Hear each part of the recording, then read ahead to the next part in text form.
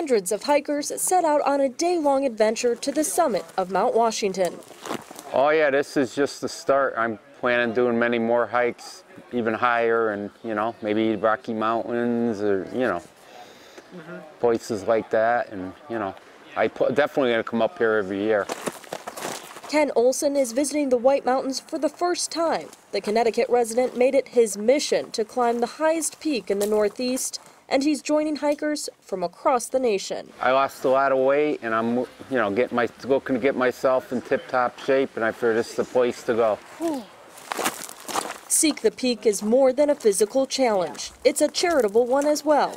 Participants raise a minimum of $200 to help maintain the mountain's world famous weather station on the summit. where we do the hourly weather observation on the summit. We provide higher summits forecasts. We provide regional weather data.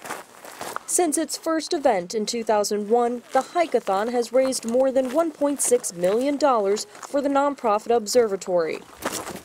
But hikers say it's not just the chance to give back, luring them to Mount Washington. carry a heavy pack and enjoy your time with friends out in nature. The, the greatest part of it is when we all gather and it's just this sort of this incredible energy of people that just have had a spectacular weekend in the White Mountains and know that they have this common bond of all like com- coming together to support the observatory. In New Hampshire, Courtney Sturgeon, WMTW News 8.